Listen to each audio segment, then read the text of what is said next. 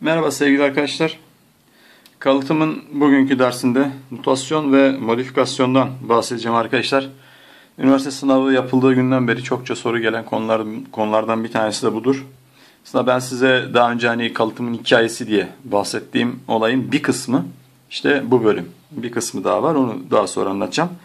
Mutasyon canlının genetik yapısında meydana gelen değişmelere deniyor sevgili arkadaşlar. Yani genleri de e, sonraki bireylere aktarılabilecek şekilde olabildiği gibi yani eğer e, vücut hücrelerinde meydana geliyorsa aktarılamıyor. Sadece bireye, e, birey üzerinde bu etkiyi görebiliyorsunuz. Yani mutasyon eğer üreme hücrelerinde ise sonraki döllere aktarılıyor. Vücut hücrelerinde ise sadece meydana geldiği bireyi etkiliyor.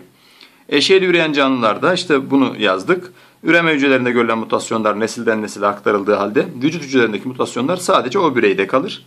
Eşeğsiz üreyen canlılarda mutasyon vücut hücrelerinde olsa da nesilden nesile aktarılabilir.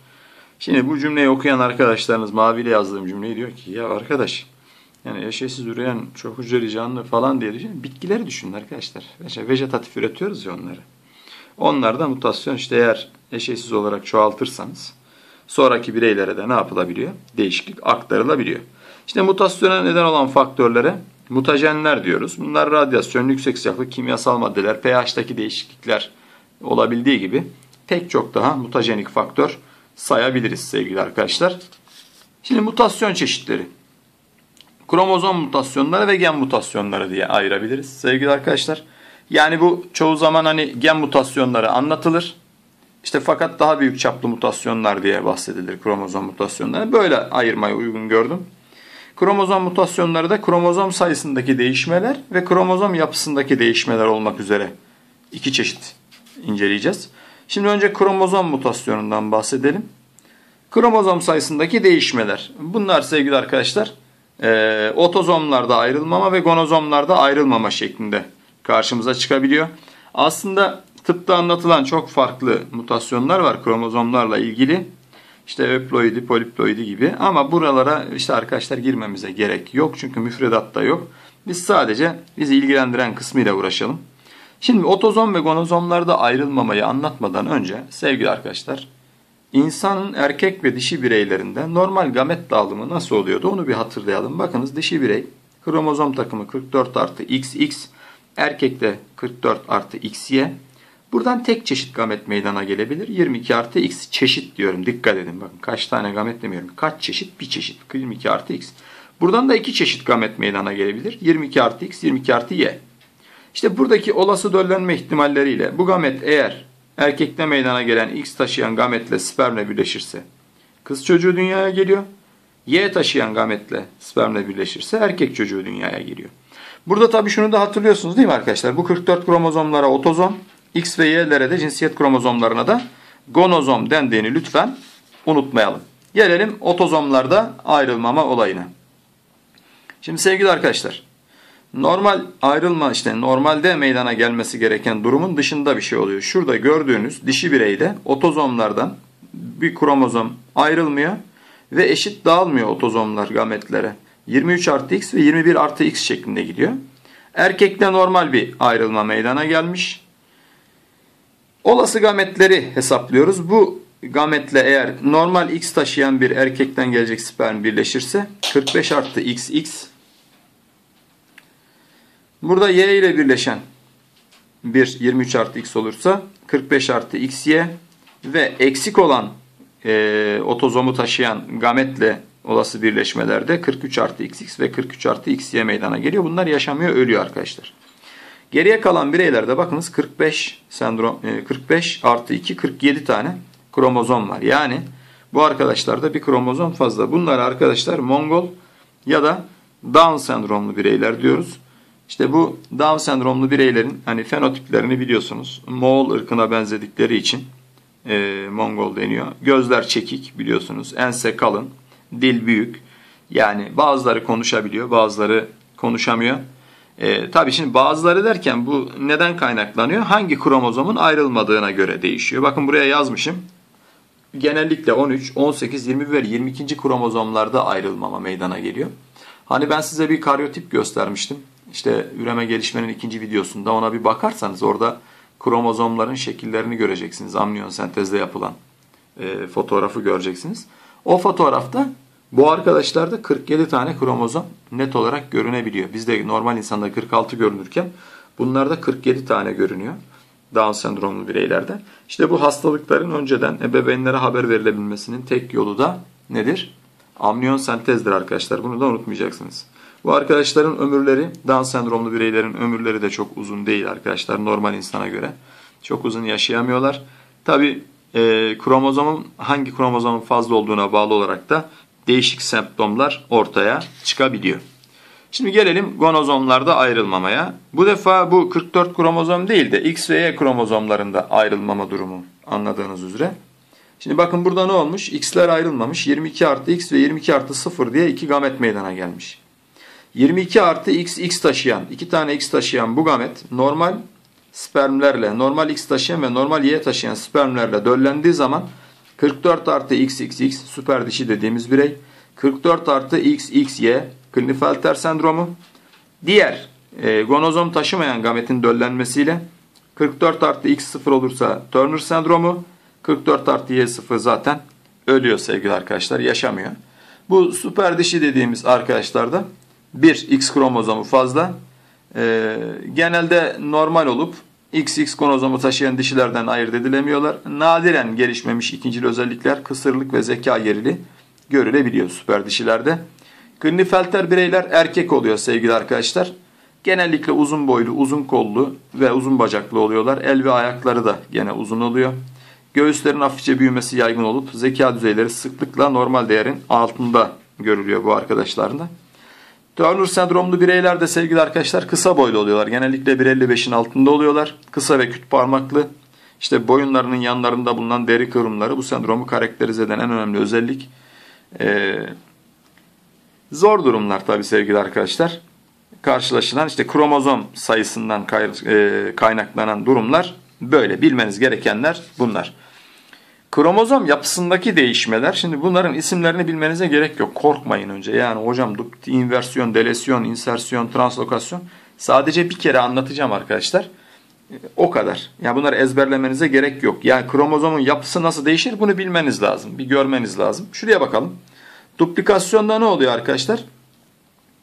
Duplikasyonda şurada gördüğünüz bölge kendini tekrar ediyor. Bundan bir tane daha oluyor kromozomda.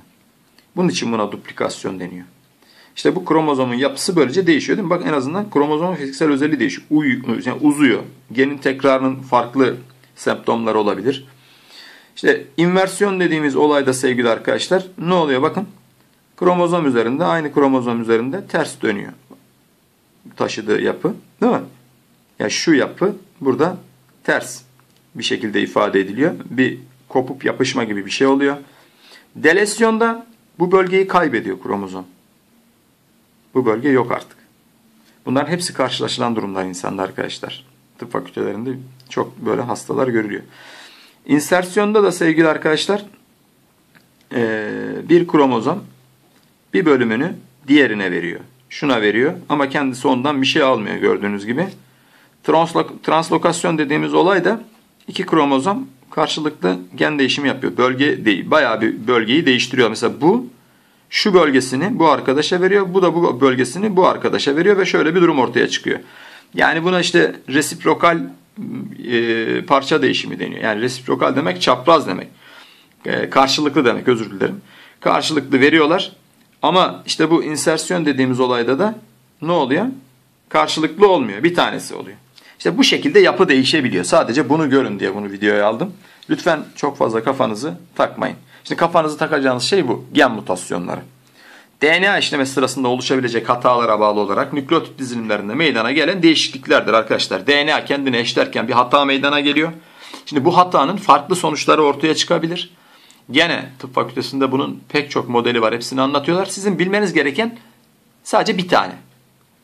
Nokta mutasyonunu bileceksiniz. Nedir? DNA'nın bir çift nükleotidinde meydana gelen mutasyonlara gen mutasyonu ya da nokta mutasyon denir. Bu önemli. Bakın bundan önceki bağlı genler dersi hatırlayın. Bağlı genlerde bununla ilgili sorular çözdük. Daha doğrusu protein sentezinde özür dilerim. Protein sentezinde bununla ilgili soru çözdük. Hani işte bir tane nükleotidin yeri değişiyor ama ifadesi değişmiyor.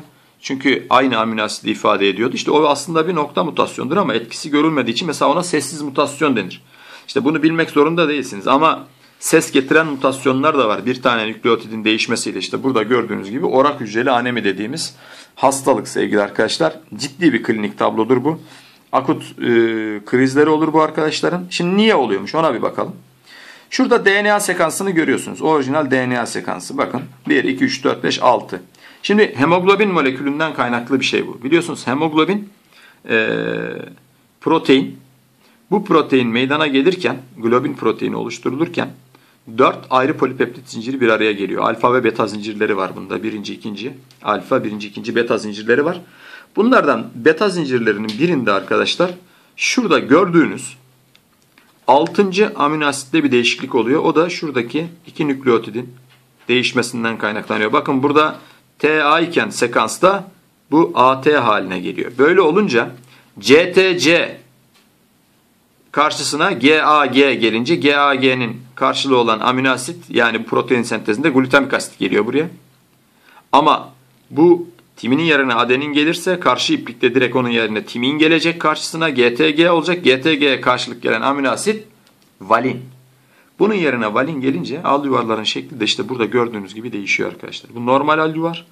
Bu orak hücreli al yuvar. Orak hücreli al yuvarı taşıyan insanlarda ağrılı çok ciddi krizler ortaya çıkabiliyor. Dokulara yeterli oksijen taşınamıyor. Çok ağır klinik tablolar ortaya çıkabiliyor. Demek ki bu hastalık neymiş sevgili arkadaşlar?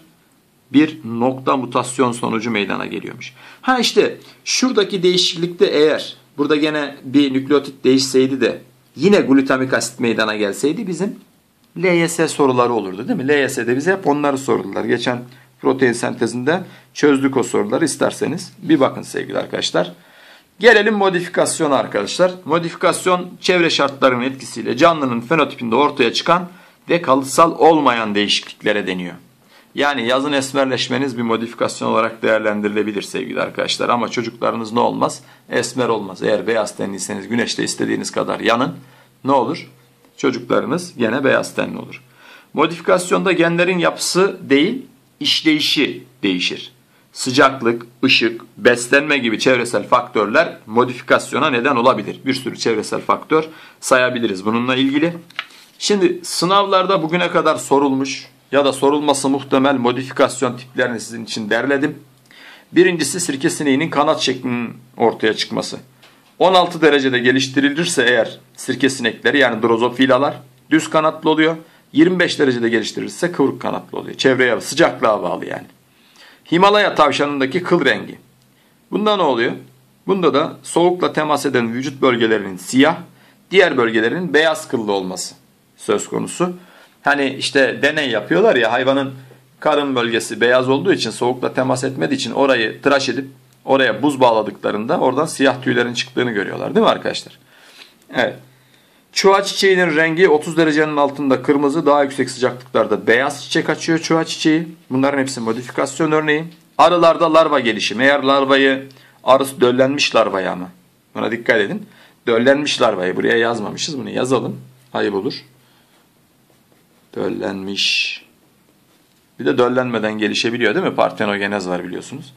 Larva eğer arı sütüyle beslenirse kraliçe, polenle beslenirse ne oluyor? İşçi arı oluyor. Bitkilerde klorofil sentezi var. Bitkilerde klorofil sentezinde de arkadaşlar mesela karanlıkta çimlendirilen bitki filizi sarı renkli oluyor.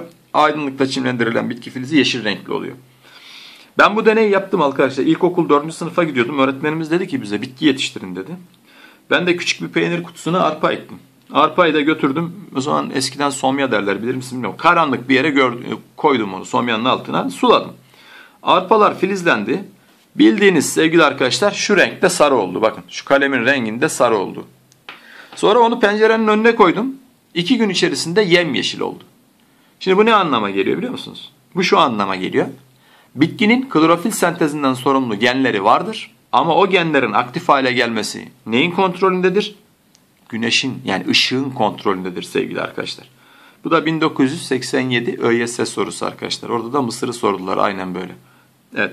Bu konuyla ilgili sorulan çok soru var arkadaşlar ve çok uzun sorulardır. Yani çok basittir aslında yapabileceğiniz sorulardır. Çözeceğim bu sorulardan size. Su krizanteminin yaprakları. İşte o ne yapıyormuş? Su altındaki yapraklar uzun, ince ve parçalıyken suyun üzerindeki yapraklar geniş ve düz. Bakın burada çevresel faktörler hep değişiyor. Mesela burada beslenme, burada ışık, değil mi? Burada su. Burada neymiş? Ortancanın çiçek rengi. Toprak asidikse mavi mor çiçekli oluyormuş. Toprak bazikse beyaz pembe çiçekli oluyormuş. Burada da etkili olan nedir? pH sevgili arkadaşlar. Pek çok çevresel faktör burada e, modifikasyonu ortaya çıkarıyor. Bu kadar yeter arkadaşlar mutasyon ve modifikasyon bahsi. Sadece soru çözmeniz gerekiyor. Hepinize sağlıklı ve başarılı günler diliyorum.